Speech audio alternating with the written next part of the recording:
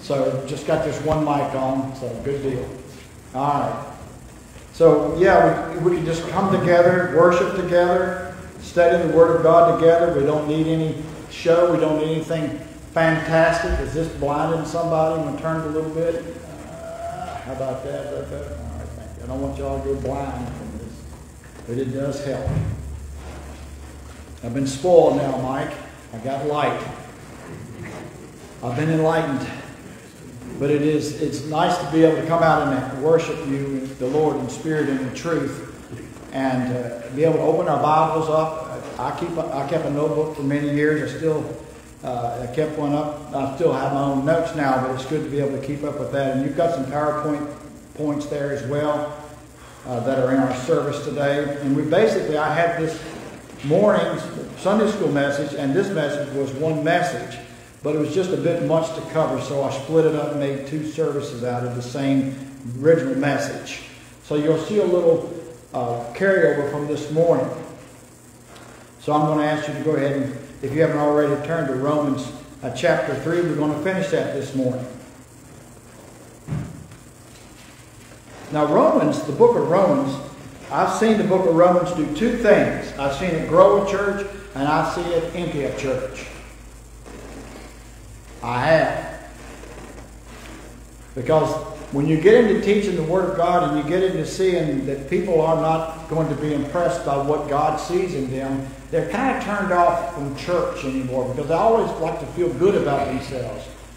Well, God doesn't tell you to feel good about yourselves. He tells you to feel good about Jesus Christ. And then for Jesus Christ to fill you up. And we don't really get that fully until we start to mature some in the faith that there is a no good thing, as Paul said, that dwells in us that we don't want running our life for us. We know that we're supposed to stay away from the biggie sins. We know that. But it's uh, it's the little things that end up slipping us back away from God, not just the big things, the deception that we're okay we're doing all right. We, God wants us to see that Jesus Christ is all right. And His Word is all right. And we need to zero in on that. So it can become a challenge. And I, I encourage you not to let it distract you uh, as you're learning and going through this book. We'll soon go into chapter 4 next week. And when we finish chapter 4, we will have finished you know, a fourth of the book. I think there's, what, 16 chapters in this book? I should know. But we have a lot to learn, and we've got, we've got a long ways to go and a short time to get there. No, this is not Smokey and the Bandit. But let's pick this up. Romans uh, chapter 3. And I entitled this message, What Can You Exchange for Your Soul? What can you exchange? What can you exchange? What have you got that God needs? What have I got that God needs? Verse 23 says, For all have sinned and come short of the glory of God, being justified freely by his grace through the redemption that is in Christ Jesus. That's the answer to our sin. Justified freely. We look at that this morning. We don't earn that justification but we're justified freely by His grace, His unmerited favor, through the purchase price of the blood of Christ. That's the redemption that was paid, where He bought us out of the slave market of sin, never to be put up for sale again, and set free. That's all those three points there are involved with the word redemption. There's agorazo, it means to buy in the market, from the word agora, which is the word for market. For man is viewed as a slave sold under sin and under the sentence of death. Romans 6 and verse 23, where it says, For the wages of sin is death, but the gift of God is eternal life through Jesus Christ our Lord. So that's agorazo, the word for redemption here. One of the words for redemption. The, to, man is seen as a slave sold under sin and under the sentence of death, and subject to, but also at the same time being made subject to God's purchase price of redemption by the purchase price of the blood of the Redeemer. And so he the Redeemer walks into the marketplace and he buys you out of the marketplace. That's agorazo. He's taken you out of the marketplace. And he purchases you and removes you from further sale. You can't lose your salvation once you accept Christ as Savior. The Bible is very clear about that. No one can snatch you out of the Father's hands. And speaking of the finality of the work of redemption, another term that relates to redemption is the word lutroo, and it means to loosen or to set free. He sets you free that you might respond to him and afterward show devotion to the one who's delivered you from the, from the enslavement of sin. And then he takes you on to live in the Father's house when the end of your life and your service for the Lord is past in this world. What a wonderful thing. There's nothing we can do to exchange for that. Just say thank you, Lord, and follow the Lord. Let's pray. Father, we ask you to bless the word and our understanding of your word this morning, that you give us wisdom and knowledge. Help us to understand that what we are, we are by your divine grace, that we deserve no favor by something that we have done by no merit of our morality or our gifts or our talents or our personality or our gender or our uh, race that we come from. That we are all equal at the cross and all must come through your grace through Christ Jesus our Savior. We pray that people will understand this as we are in this section of our study on justification in the book of Romans. Help us to understand it. Father, we do pray for our nation. We pray for those who are suffering because of those hurricanes and the damage that was done. We ask for your mercy to be upon them and for those who are there on the ground helping. And Father, we pray for our nation that we will understand that it's not about who you're picking for president, but who you pick for your Savior. We pray, Father, that we'll make the right choice when it comes to our elections, but we know that we cannot fail when we pick Jesus Christ as our Savior, our ultimate deliverer and ultimate redeemer. So help us to make our right choices about what we do politically, but also make us help us to understand that we have a choice to make that has to do with the deliverance of our fallen soul, that we'll receive Christ as our Lord and our Savior for the complete forgiveness of our sins, for the complete annihilation of all condemnation because we're in Christ Jesus. And may we learn and have the humility to follow you by faith. We pray for our church, our church family, for the needs that each one has here, physically, mentally, emotionally, and spiritually and financially, that we'll lean upon you and trust you and trust your word to give us guidance in all those areas. Help us now, Father, to, to get the distractions that are in our mind and in our emotions and in our thoughts. Help us to put those distractions aside, this preacher as well, and to focus on your word this morning. In Christ's name we pray. Amen. God's attitude towards sin is absolute. We'll see this. Because he proved that his attitude towards sin is absolute when Jesus came and died for us on the cross. That God's attitude towards sin is absolute, that his attitude is without change. God's attitude is immutable. As you see in your notes, which I did not put on the PowerPoint presentation for this morning is that cultural norms change and moral norms change in a society, but God does not change.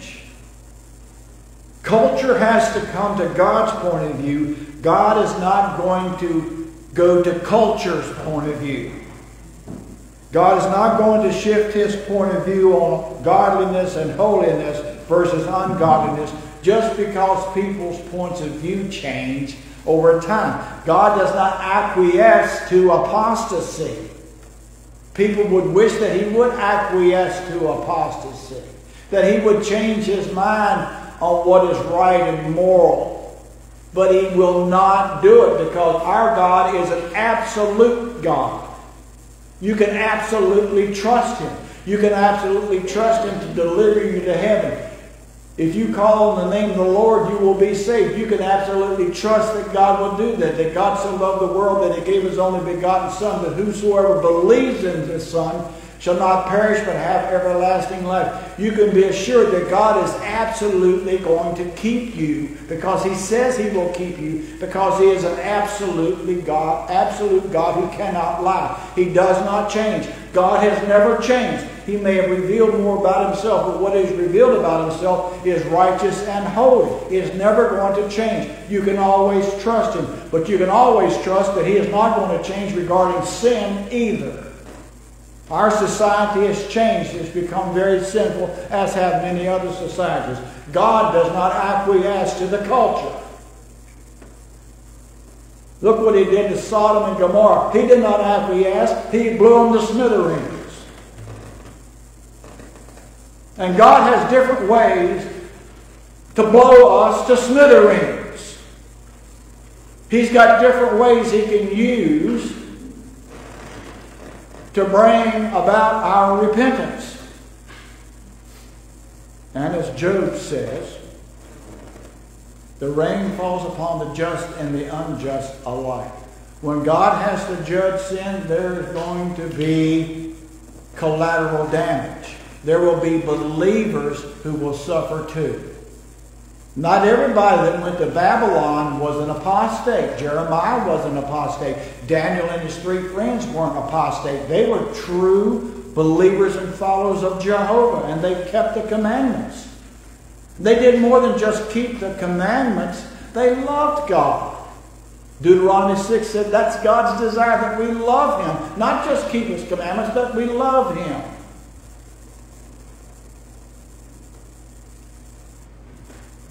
But there are a lot of people who have turned against God, and God has used weather related events in the past to bring about a change of mind, hopefully with about sin, with hopefully a, a, corresponding change of action about living for God, living a holy, more holy life. I remember after 9-11, when the Twin Towers were flown into and almost 3,000 people were killed, how there was a rallying around the, the church is a little bit more. We never saw much here. There's something about the Word of God that just repels people who want to get to know God. Isn't that amazing? Just amazing. But a lot of people started becoming religious again. When we had the pandemic, people started trying to get all religious a little bit again. Well, Jesus doesn't want you to get religion, He wants you to get Him. And you do that through receiving Him as your Lord and Savior. But God wants you to become a Christian. He's not going to change his norms and standards about what's right and wrong. He's going to burn. He's not going to take your salvation from you if you get into sin. He's just going to take you to the woodshed. If he has to. He doesn't want to, but he will. Cultural norms change and moral norms change, but God does not. The culture has to come around to God's point of view because God is not going to come around to the culture's point of view. God's just not going to do it. He doesn't need it. God is not lonely looking for a friend. He didn't create Adam because he was lonely. That's the dumbest thing in the world. He was lonely, so he made people. What kind of an idiot theology is that? God didn't make it. He made Adam so he could show his glory through mankind. May have work for a little while. Yeah, a little while. Our personal faith in and acceptance of Jesus Christ of course, is necessary to be reconciled to God. So he provided himself as a sacrifice to redeem us from our sin as a way to reconcile us and rejoin us to God the Father. Jesus made the ultimate personal sacrifice. It was demanded by the Father on the Father's behalf for his holiness reasons, that we might be brought back into the family of God the only way that God could do it without violating his perfect integrity. God can't let you into heaven. Flesh and blood shall not enter into the kingdom of God. You've got to be saved. The offering that Jesus Christ gave up for sinners, the word propitiation, hilasmos, is a picture of an offering that is made. The offering that Christ made for sinners was his shed blood. He died on the cross. He gave his life for us. And it wasn't just his blood. The Bible says in Hebrews, uh, uh Isaiah chapter 53, that he gave his soul as a ransom for our sins.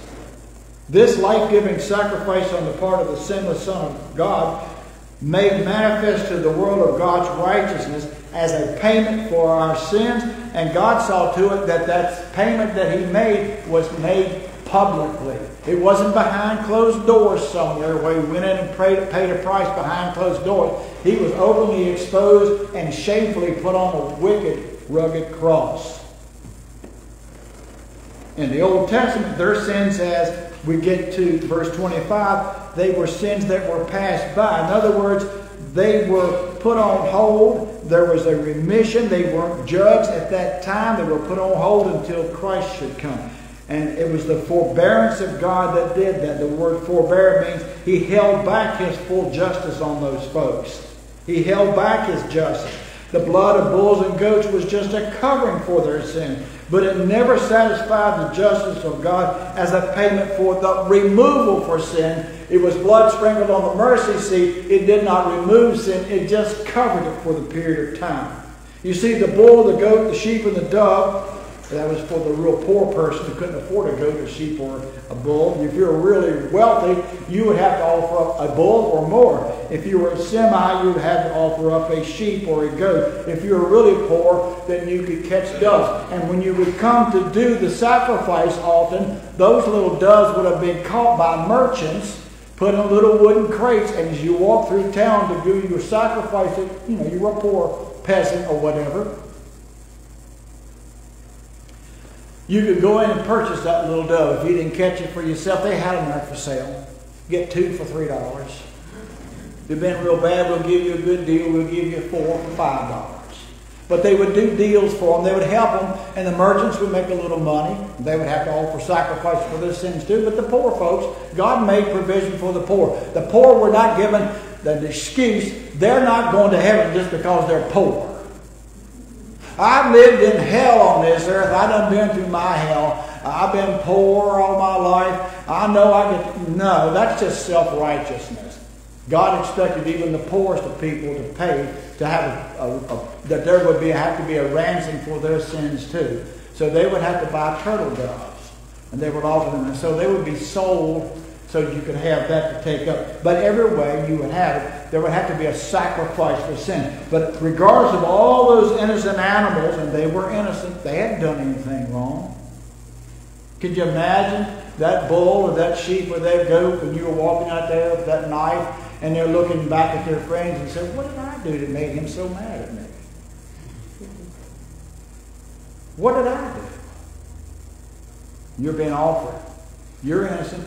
And you're a picture of an innocent one that's a human being that's going to be offered for people one of these days. The bull, the goat, the sheep, the dove, they were all innocent animals. But the people who offered them to the priest, they were not innocent people. They were all guilty. Even the priest who would go in once a year to make a sacrifice and offering for the people, he had to make a sacrifice for himself first because he was also guilty. So, what can we offer in exchange for our souls? Jesus asked in Mark 8 and verse 37. What do you offer in exchange for your soul? He asked. You know, our works cannot hold back the justice of God because of our sins. Our religion cannot hold back the justice of God because of our sins. Our morality cannot hold back the justice of God because of our sins. And so the Father, according to Galatians 4 4, waited until the time was right, and he sent forth the Son, born of a virgin, and he came to bear our sin as a sinless substitute sacrifice on our behalf. But he was not doing it just for us, he was also doing it for the Father, that the Father made it available that mankind could be restored to union with him. That God wanted there to be union. He's a giving, benevolent God. He wanted there to be a union between us and him. But it could not be done willy nilly, it had to be done in a specific way. So Jesus, verse 26, where we pick up, I declare, I say at this time, his righteousness, that he might be just, and that he might be the justifier of him who believes in Jesus. Jesus Christ was set forth as the sacrifice to declare, I say at this time, his righteousness, that he might be just and the justifier of him who believes in Jesus. This is the only condition for being justified before God. Okay? Verse point number three is that we can do nothing to satisfy God apart from Jesus Christ and accepting his sacrifice. It was Jesus that justifies us, humanity, before God. Muhammad does not justify humanity before God. The Buddha, nor Confucius, nor the Pope can justify a person before God. How dare somebody say that I declare that you are a saint? How dare? Only Jesus. Jesus is the only man on earth that can forgive sin because he's the God man. That's called the hypostatic union. And now he's the high priest in heaven, and through the Father's plan, Jesus still forgives sins. Only Jesus can, can declare you to be saved. Only Jesus Christ can, can declare you to be a saint. Only Jesus Christ can be the one that enlightens you. Not the Dalai Lama, not the Buddhists, not the Hindu religions. They can't enlighten anybody. They just take you down to the devil's light, which is hell. So he says in verse 27, I declare, I say at this time, his righteousness, that he might be just, and the justifier of him that believes in Jesus. So where is boasting then? The moralist Gentile was boasting. The pagan Gentile said, uh, I don't care. I'm no worse than the rest of them. The Jew was boasting of his religion and his conscience and his morals as well. But Paul says, where is the boasting then? It is excluded. And by what law? Of works? No. Nay, but by the law of faith. So where is boasting then? We have no room to boast, is the answer. Boasting is excluded. That is how I know I'm going to heaven because I gave a bunch of money to the goodwill. I gave a bunch of money to this. I went to church. I did this. I did that. That's boasting. Paul says, Do you boast by the law do you boast of your works? Nay, but by the law of faith. Now, the word here is important. Nay, but by the law of faith. There's no definite article, the word the, which identifies a specific reference that Paul is referring to. So when you have the word the before the, this noun or whatever, it's referring to a specific contextual faith. Nay, but by the law of faith, no definite article used here before the word faith. So it is by personal faith. It is only through the avenue of your personal faith can you make the decision to come to Christ in salvation. You have to have the faith to come to Christ. God does not give you the faith to get saved as the Calvinists teach. They teach a lot of good things. They're not Calvinistic in that regard. But in the regard of coming to salvation, God does not give you the faith to believe. He gives you the facts to believe. And God requires you to exercise your faith. Now, He'll give you a lot of facts. His Spirit will try to convince your mind to believe, but you're the one that ultimately has to say yes. God doesn't say yes for you as if He's just turning the switch off and on as He wants to. You have to believe for yourself. God's not going to believe for you. Only by personal faith can the sinner come to salvation upon accepting what the Holy Spirit reveals to the sinner about being guilty as a sinner, as seen in John chapter 16, where it says there that the Spirit of God, He makes manifest that which is sinful. And He also makes manifest our condition and who Christ is, who paid for our sins. And He leaves it up to us. He leaves it up to us. So where is their boasting? Is it is excluded. We can't brag that we've been justified because only He can justify us or declare us righteous before God.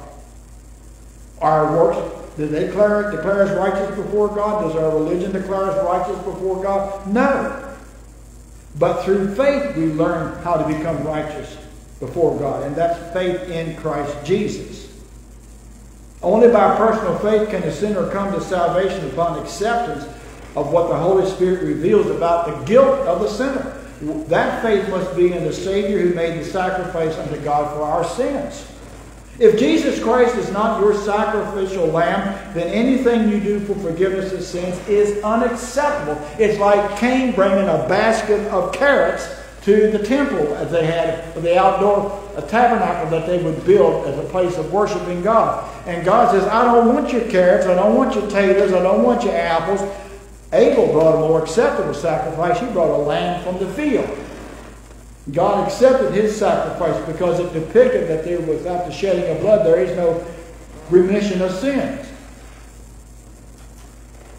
It is unacceptable, like Cain bringing a basket of vegetables from his garden as an offering to God to exchange for his sin. God says, what you want to pay your sins with is not good enough.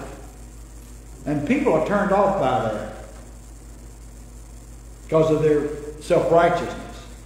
Exercising faith also is not a work. So God is not violating his just standards by you exercising your faith in coming to Christ. Your faith is in credible evidence that's in Christ and the Word of God that talks about Christ and teaches about Christ and declares Christ. When you put your faith in Jesus Christ, you have put your faith in the one that God declares that will save you. What will you offer to God in exchange for your soul? What are you offering to God now for exchange for your soul? Do you think coming to church saves you? I hope not. Do you think being a good man or a woman saves you? I hope not. Do you think turning away from certain sins saves you? I hope not. It's nice that you may do those things, but you've got to accept Jesus as your Savior. You don't have to feel it, but you need to accept Him if you haven't already. So must I. So must all of us. We are only justified by faith apart from works. We are condemned if we resist this. Paul is saying that you're justified by faith apart from the deeds of the law in verse 28. Therefore, we conclude. Why boast? Verse 27. Righteousness comes to the one who justifies you. That's in Christ, verse 26. We conclude that a man, verse 28, is justified by faith apart from the deeds of the law. We conclude, the word conclude means to reckon. It's the word logizomai, and it's, a, it's an accounting term. We calculate, in other words, with certainty, indicative mood, that a man is justified by faith apart from the deeds of the law or works as far as that's concerned. There is no doubt from Scripture that a person cannot be forgiven of his sins or enter heaven at death by his own efforts, no matter how honorable he has lived. And I said something earlier when we first started in the book of Romans that it'll strip away our pride, it'll strip away our deceit. And for those of you who have been saved and you know you're saved, and you know through whom you are saved in Christ, these messages may seem redundant in some ways to you, but there are so many people who have not even considered the way that this book of Romans approaches redemption. It approaches redemption with the fact that it shows you that you're condemned. It shows you that you cannot justify yourself, that only He can do that. And it kind of leaves you naked, as it were, spiritually speaking.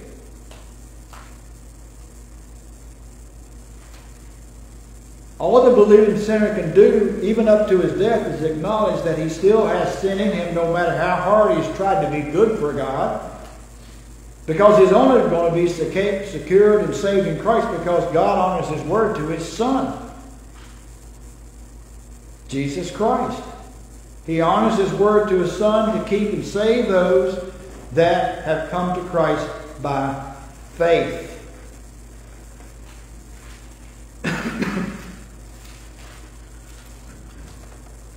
1 Peter 1 5 says that we are kept by the power of God through faith unto salvation, ready to be revealed at the last time. Jude 24 says, Now unto him that is able to keep you from falling and to present you faultless before the presence of his glory with exceeding joy. To the only wise God our Savior be glory, majesty, dominion, and power both now and forever. Amen. Only God can save you, and only God can keep you. And I was reading something from Donald Grey Barnhouse in my study in Romans chapter 8 this week. It was very telling, especially for those of you who've been saved for many years that in the latter years of your life, as he's going through Romans here himself, when he taught it years ago, great expositor of the word, well known preacher and, and writer, conservative biblical scholar at that. He noted that as Paul reveals in Romans chapter 7 the, the, the, the, art, the, the struggle that goes on in the spirit and the flesh is a constant in the Christian's life. And as you become more mature and more stable in Christ and more knowledgeable of God's Word, you also conversely become more knowledgeable of your shortcomings. And you become more aware of His grace and your utter inability to be good and pure all the time, whether it's in thought or deed or action. And as you get closer to the end of your journey in this world, it seems to you as if your failures become more magnified to you than when you were a younger, dumber Christian. You just didn't know how much an effect God had on you. And as you become more mature, you start, you could get discouraged and say, I thought by this time I would have been over these sinful temptations. I thought by this time I, I wouldn't have to be keep on confessing things that I was confessing 30, 20, 40, 50 years ago. I, I should have gotten over that by now. Well, the thing of it is, it means more to you now than it did. You haven't become callous. You've just become more aware. And it's the sin nature's way of discouraging you down the last months or years of your life or decade of your life that you ought to just give up. I'm telling you, the older you get as a Christian, the more the sin nature is going to tell you to give up. You're no good. The sin nature will lead you to believe that why go to church? Why try? You're just no good. You'll just have to let God just do with you what He wants. Well, He's going to do with you what He wants regardless. But you can't forget what He's done for you and just quit church altogether. Just quit God altogether. Quit praying altogether. Quit reading the Bible altogether. Lose hope altogether. You're getting close to the finish line. I can tell you, it hurts.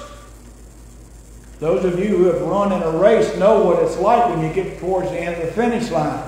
It hurts. Anybody that knows NASCAR, when you're getting to the end of the race, you've got to look at your gauge and see how much fuel you got left. Can you make it to the end? You're going to come in on fumes. I guarantee you, every last one of us will come in on fumes when we die. But God is doing a work in you as per Philippians 1 and verse 6, and He's going to complete it. He'll do work on you until the day of redemption. And there'll be times you'll think, I'm no good. I thought I was a better man. I thought I was a better woman. I thought I could, I could lick this thing. You can't. All you can do is just surrender again and again and again and again. And don't quit surrendering to Christ. Confess your sins, 1 John 1 9. Confess it when you do wrong. You get willy-nilly on something. 1 John 1 9, if we confess our sins, He's faithful and just to forgive us of our sins and cleanse us from all unrighteousness. He does that based on the finished work of Jesus Christ. We are not justified because of something we've done. And once you get saved, you're not going to be justified for something that you can do then either. It's something you got to learn to live with. Doesn't mean you learn to do it, but you learn to live with the fact that you're subject to failing. Some writers that I read would suggest that there's no way when you go into Romans chapter 8 that Paul is talking to a Christian. Because when you get into verses 4, 5, 6, and 7, it's as if Paul is saying, you know what? If you're carnal, you couldn't be saved. That's not what Paul's saying at all. I'd want to preach that sermon right now because it's hot on my mind. But I'm. I'm going to read it though, because it is relevant to today. In Romans chapter 8, there is now no condemnation to those who are in Christ Jesus, who walk not after the old sin nature. That's the word uh, uh, sarx, not soma. Soma, S-O-M-A is the basic word from the meat of the flesh and the bones. This is sarx. Sarkikos refers to a carnal state.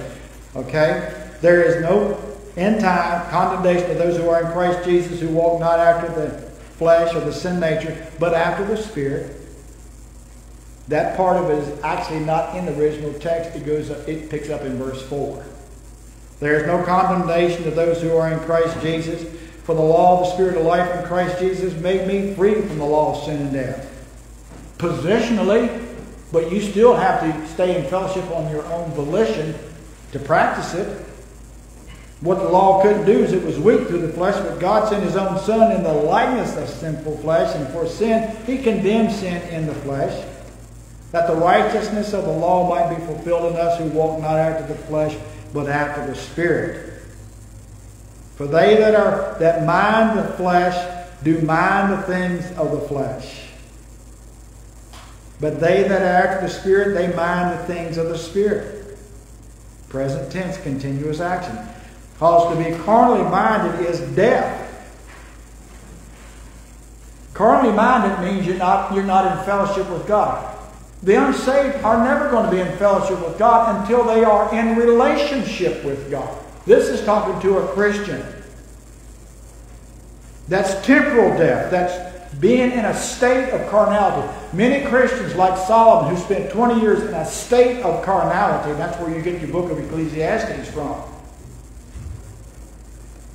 He was spiritual until he got big in the britches and got wealthy and powerful. Then he started hooking up with all these women, supposedly to make alliances with other countries. But then he started following their gods as a believer. You can follow other gods as a believer. And you'll lose every bit of your rewards. You can be carnally minded as a believer, like King David. He had women on the mind a lot. You can be carnally minded. You shouldn't be. It's detrimental to your spiritual growth. It's detrimental to the glory of God. It's detrimental to your rewards. And it's called temporal death. The carnal mind is at war against God. And the older, as Barnhouse says in his commentary, it's a four commentary set on just the book of Romans itself. The carnal mind is at war against God. The carnal mind, it will not be subject to God's law, and neither indeed can be. So then they that are in the flesh, that if you are a believer who is living carnally, you can't please God. And so getting back to Romans chapter 3, we're wrapping up here.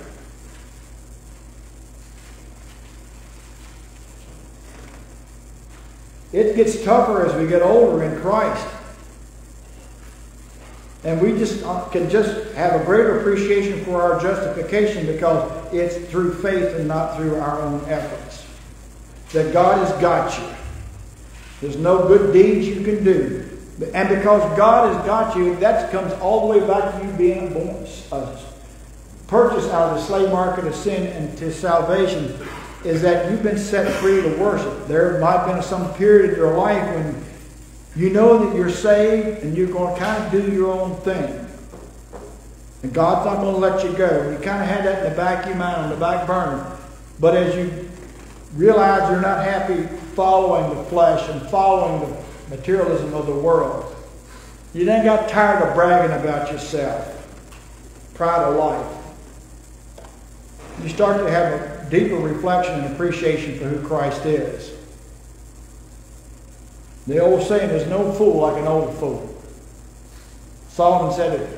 He was supposedly the wisest man on the earth, but nobody became a bigger fool than he did. He said that of himself when he came to his senses.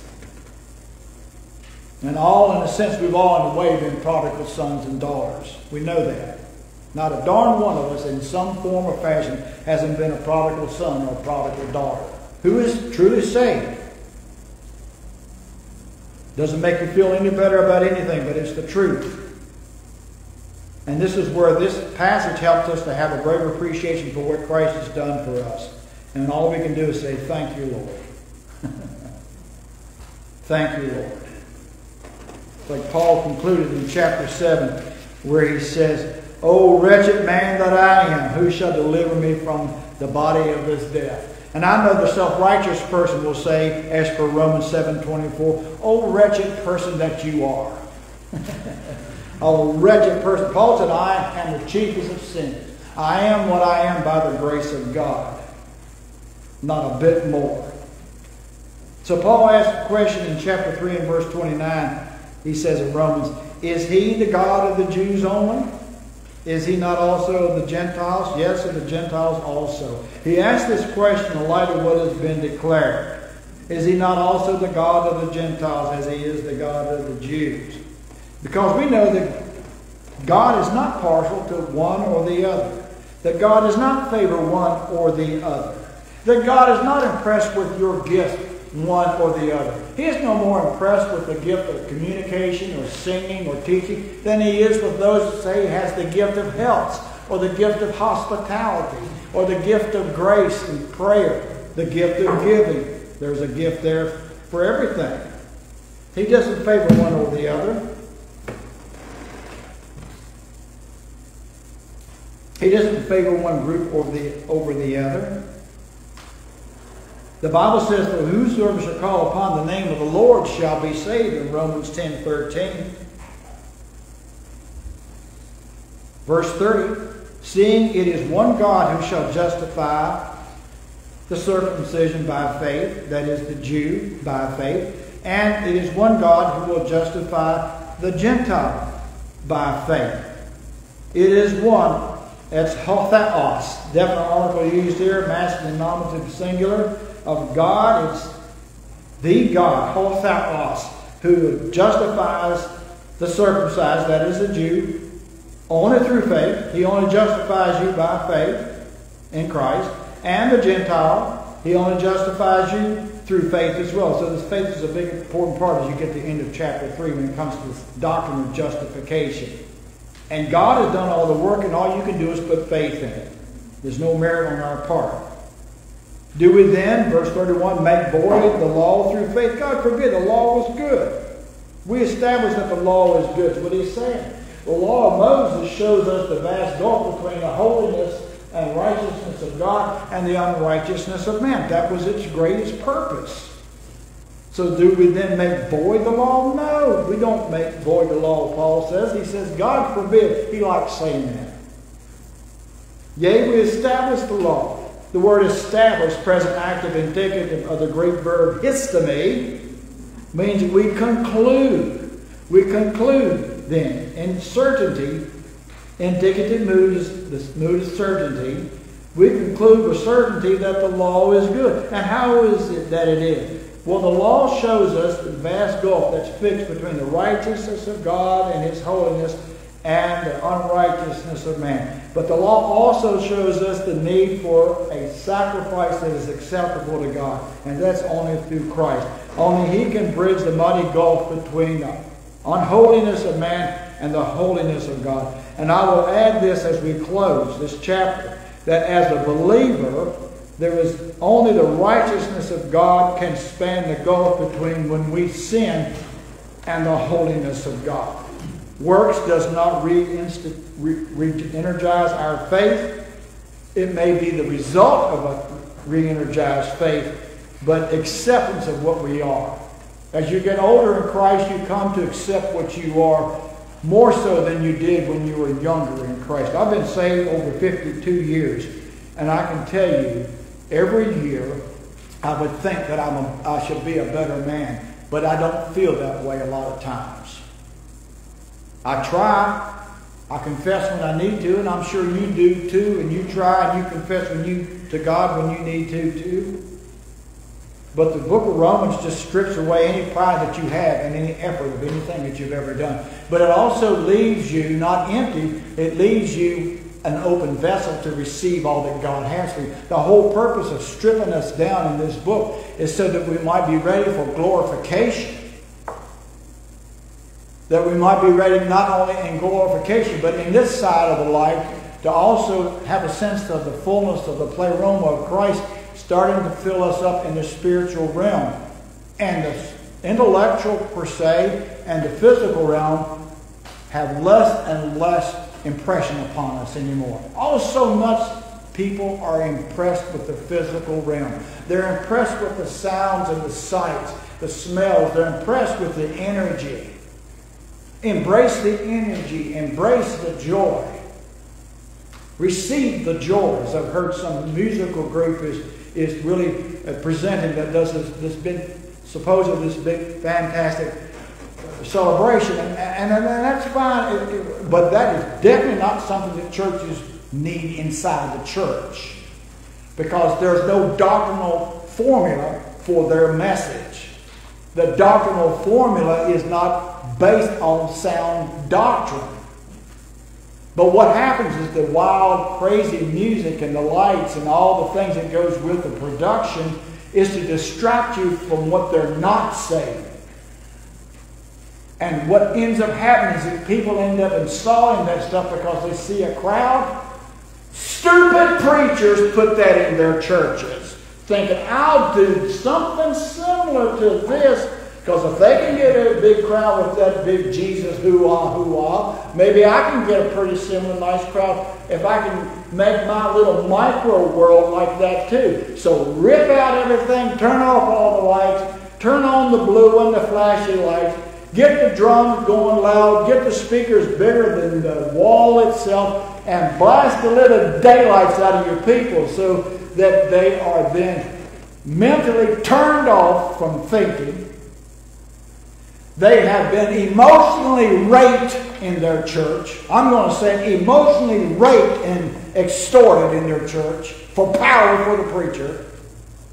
And don't do a blessed thing when you walk out that door about Jesus Christ. Dumber than a bag of hammers. You know, the prophets in the Old Testament, when some Jehu came through with some Jehu thing that was got everybody, oh, Lord, this is great. The prophets were always the Debbie Downers. Why do you got to be a Debbie Downer? Y'all, some of y'all know what I'm talking about. Not, you're not all that religious, I guess. Even the Bible has places where secular poetry and such is inserted into the inspired Word of God, as per Paul in the book of Titus and other places. Course, it would be somebody like Paul, who was a man about town before the day. But the Word of God is supposed to keep our feet on the ground, not our heads floating up in the sky. The Word of God, for God, is down here. Nothing wrong with feeling good every once in a while. But just watch how you get yourself to feeling good in the name of Jesus. That's what I'm saying. I had uh, one cup of coffee this morning. I have too much, maybe. And I did not drink it in the name of Jesus. I just wanted to wake up. Our faith alone in what he has done for us is the simplicity of the gospel. Jesus did everything, all to him I owe. Sin had left a crimson stain. He washed it white as snow. And we'll leave it at that. The law of Moses shows us the vast gulf between the holiness and righteousness of God and the unrighteousness of you and me, Jew and Gentile alike. When we come to Christ, we're now Christians. We're believers. We're brothers and sisters in the Lord. But as I'm wrapping this up, as we get older, we start to see things more and more as Christians that we don't have as much vim and vigor as we used to think we had, but we're more grounded in who Christ is. And he's more real to us than anything. And I, I, will tell you, there are a lot of people, when they look at the life of Jesus Christ apart from his miracles, they would not hang out with him. They wouldn't hang out. A lot of people would hang out watching Jesus, what I call the outlier disciples of John chapter 6 and verse 66. They hung around with him because they liked the show that he put on. He wasn't doing it for a nefarious reason. He was showing them that he was God's in the flesh. But they didn't see it from the spiritual realm. They saw it from the purely entertaining realm. That's why Judas hanged on and Jesus knew because he saw it from the entertaining place of power realm. Even at the Last Supper, the disciples, the better disciples, were asking, Who's going to be first in your kingdom one of these days, Lord? When they knew that Judas was going to be betraying Jesus, they were still just thinking about number one themselves. Who's going to be first in your kingdom? Well, let's see. The first to be last, the last to be first. You know, something like that. Jesus always had a way of just stealing your thunder. And a lot of people don't like that. They just don't like being humiliated. Well, when Jesus went to the cross, he got humiliated on our behalf. And you all know that. So all I can say, if I have anything to say today as I close for the third time,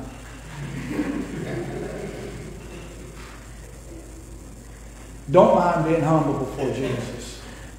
Don't mind being small before Him. Because the smaller you are, the bigger He looks and the more safe you feel. When you feel like you're all that in a bag of chips and you've got to do all the fighting for yourself, and you, then you see how powerful the enemy is, you can get scared real quick. But when you see yourself as small and Him big and embracing you and protecting you, and you're humble and you let him rest, rest in his arms and his love and his truth and his promises,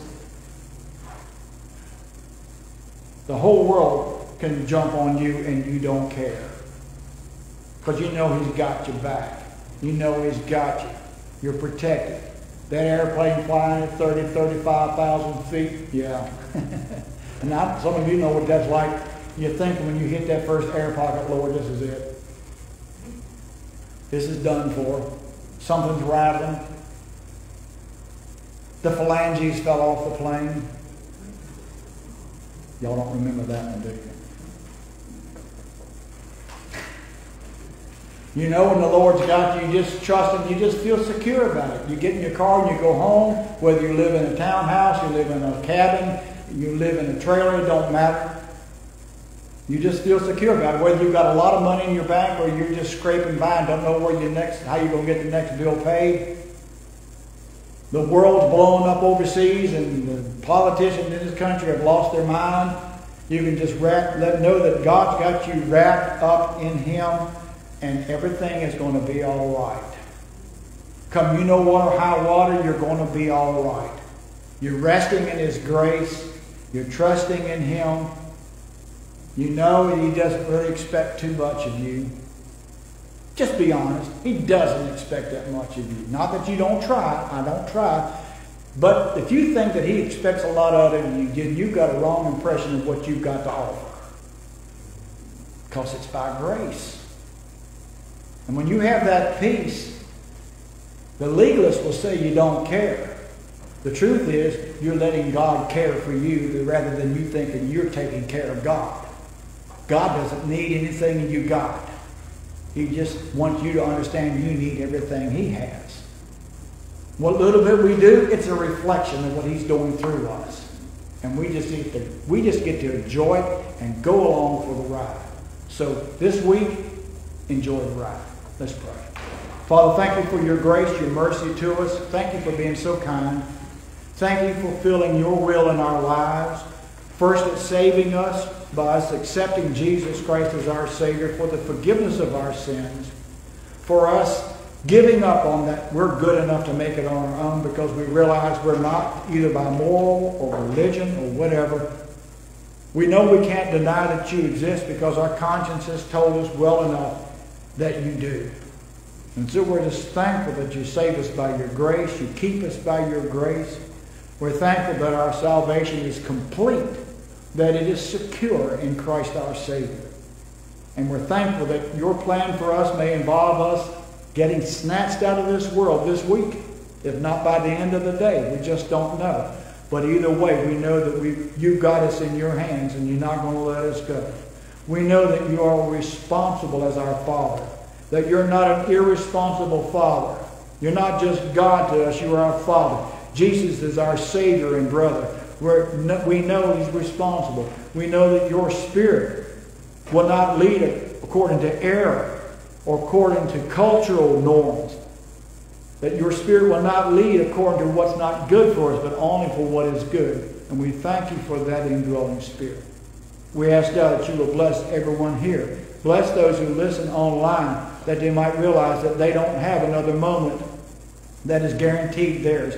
That they need to say, I know I'm a sinner. I know Jesus went to the cross and he died there for my sins. And I now personally accept him as my Lord and my Savior. I'm not waiting on a feeling. I'm accepting it. That request to you by faith. And I receive that salvation now by faith.